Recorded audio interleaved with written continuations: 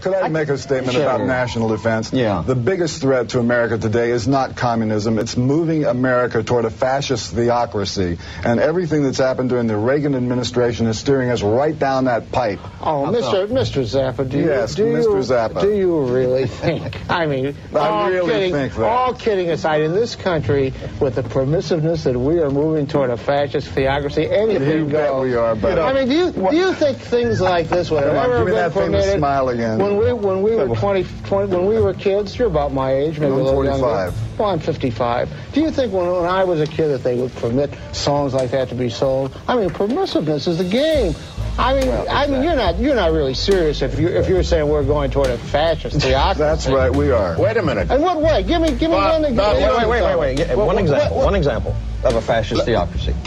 When you have a government that prefers a certain moral code Mm-hmm. derived from a certain religion, and that moral code turns into legislation to suit one certain religious point of view, and if that code happens to be very, very right wing, almost toward then Attila the Hun, Well, then you are an anarchist. Every form of civil government is based on some kind of morality, Frank. morality in terms of behavior, not Of in course. terms of theology. Well, of course. But look, I mean, I couldn't believe in your John, hearing. John, in your you- hearing. Okay. I have an addendum to that. The real looting in this country takes place in the transfer of the wealth from the poor to the rich. I'm sorry that you don't like class and the truth, my friend, but you're just stuck with it. Class and class. And the poor have been systematically looted in this country. The rich have been made richer under this criminal, fascist president and his government. George, George, you, I think you know. Do you know what fascism is? You know what Fascism, is? when it is? comes to America, it will Where Nazis are, not- where No, wait, sir, wait, You sir. know what When Nazis fascism are? You know comes to America, it will fascists not be in brown and black shirts. It will not be with jackboots. It will be Nike sneakers and smiley shirts. Smiley, smiley. The, the, the fascism. Germany lost the Second World War. Fascism won it. Believe And actually, me, my friend. fascism is when corporations become the government. Yes. And that's sort of what we have. I told you guys, the holiday season is nothing but lies and bullcrap. Well, how was it? It was a fake. Oh, I'm sorry. Carmen was right. The holiday season is for idiots. Where did you go, Uncle Charlie? I went to a beauty parlor and had my tattoo redone. Look. Oh, that's pretty cool. Hey, where's Kenny? Oh, he's around. Oh, hey, Kenny. Come on, I'll buy you kids an orange smoothie. Ew. Hey, there he is. That's Charlie Manson. What the American people must never forget is that when fascism comes to America, it will come wrapped in an American flag. And that's something that I have never forgotten. Because that's the problem that we face today. And we have to be very open about this. What are we facing? We're facing the road to fascism. And when we understand that, millions and millions of American people will stand up and will fight for the elementary preservation of the American system of government. because you know, I, I, what prompts this is things like the Patriot Act. You know, But let if, me go wait, back- no, no. If you're not a patriot, But let me go back to this ad. You do not believe that Mike Huckabee, that ad commercial, rep- represents the potential of fascism in the form of a cross. No, but I think this country, a movement in the last hundred years, is moving toward fascism. Fascism today, the softer term, because people have different definitions of fascism, is corporatism.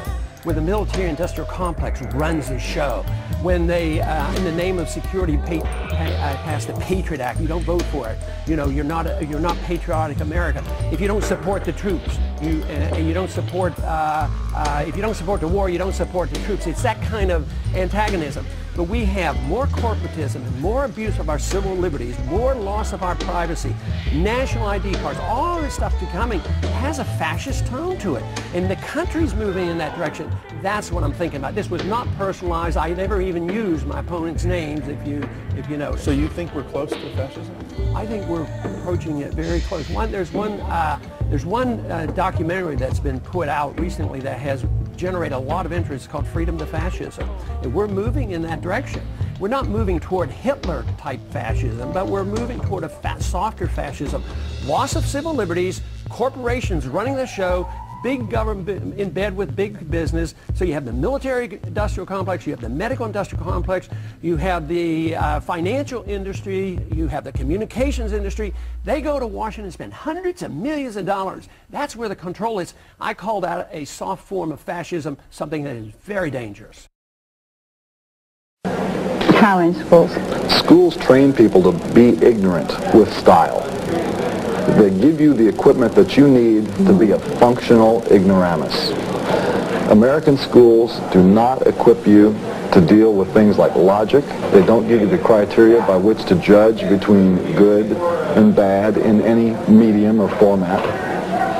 And they prepare you to be a usable victim for a military-industrial complex that needs manpower. As long as you're just smart enough to do a job and just dumb enough to swallow what they feed you, you're going to be all right.